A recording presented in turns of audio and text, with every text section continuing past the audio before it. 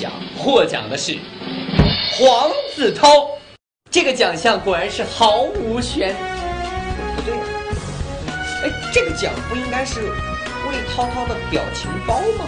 不过呢，瞧一瞧这个五颜六色的头发，将魏涛涛的桀骜不驯、邪魅狂狷展现的淋漓尽致，对不对？还有什么 style 是我们的涛涛不能够尝试的呢？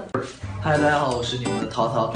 啊、刚得知被选为关爱巴峡时尚大奖最佳迷之单品奖。一开始其实我是拒绝的，因为巴姐和会长告诉我，这个奖是颁发给我酷炫的发型，而不是给我的表情包。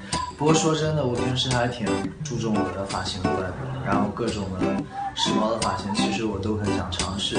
你们也说我平时的发型 狂拽、酷炫、屌炸天，那这个奖我今天还真的是拿定了。在这里，除了要感谢八姐和会长之外，还要感谢广大粉丝对我的支持，还有谢谢那些关心我的朋友们。有了你们的鞭策，我才不会轻易的勾带。我不会是这样轻易的狗带啊！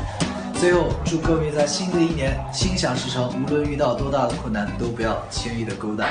最二次元着装艺人奖获奖的是